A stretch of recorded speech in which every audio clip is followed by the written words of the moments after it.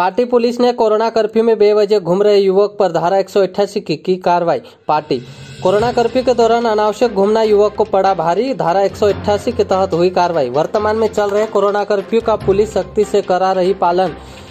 साथ ही नगर में तीन स्थानों पर पुलिस चेक प्वाइंट भी संचालित है।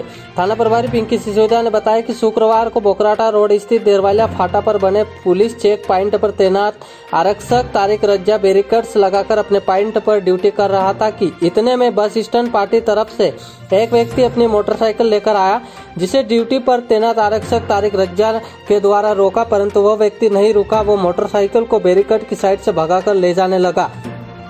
कि रोड किनारे बनी नाली में मोटरसाइकिल सहित नाली में युवक गिर गया, जिसे उठाया और इसकी मोटरसाइकिल को भी उठाकर नाली से रोड किनारे किया।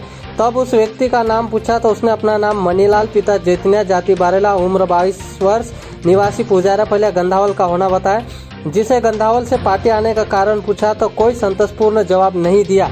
बेवजह बाज़ार में घूमना पाएगा मनीलाल को मोटरसाइकिल से गिरने के कारण चोटें लगने से उसका मेडिकल पीएससी पार्टी में भी कराया गया।